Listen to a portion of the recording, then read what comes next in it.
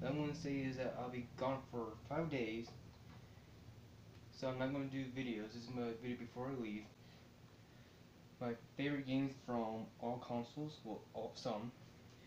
Okay, first up will be Arkham Knight VR. Then it'll be Assassin's Creed Syndicate.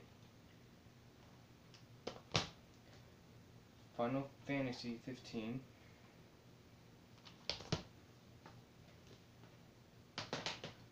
Uncharted 4, and I got the other Uncharted on the PS3. The Last of Us Remastered, which I'm not played, don't have on the PS3. Then J-Star Victory Versus Plus. Ghost Recon, but I haven't beat it yet. I did some of the others on the other games. Next off is PS3. I don't have the actual case for it, but it is the Amazing Spider-Man 2. And then Elder Scrolls 5 Skyrim. I got the remaster plus the special edition one. Then Skate 3, one of my favorites for PS3. Midnight Club, LA. Star Wars Force Unleashed, Part 2, which I have the first one, but that is not my favorite, so I didn't put it in there. And one of my favorite Batman is Batman Arkham City. Then, the Uncharted collection.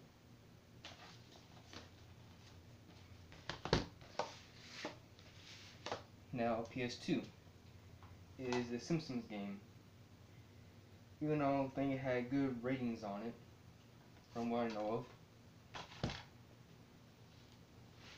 Then Tony Hawk's Wasteland. And then Midnight Club 3. And then well my first RPG game was Dark Cloud. And then the GTA San Andreas, GTA Vice City. Well, I forgot one of the games too, which was GTA 5. Which I got both of them right here.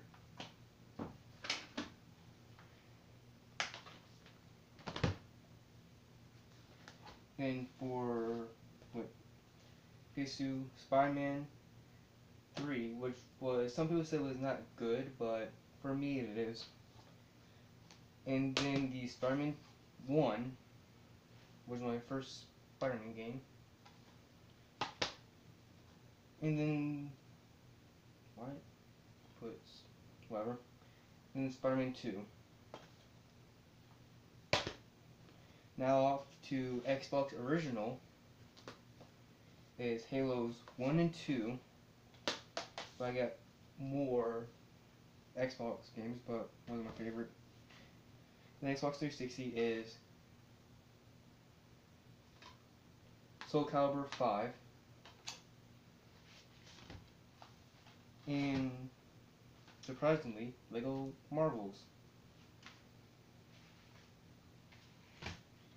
And Sleeping Dogs is on all consoles from Xbox through PlayStation and PC, which has good mechanics.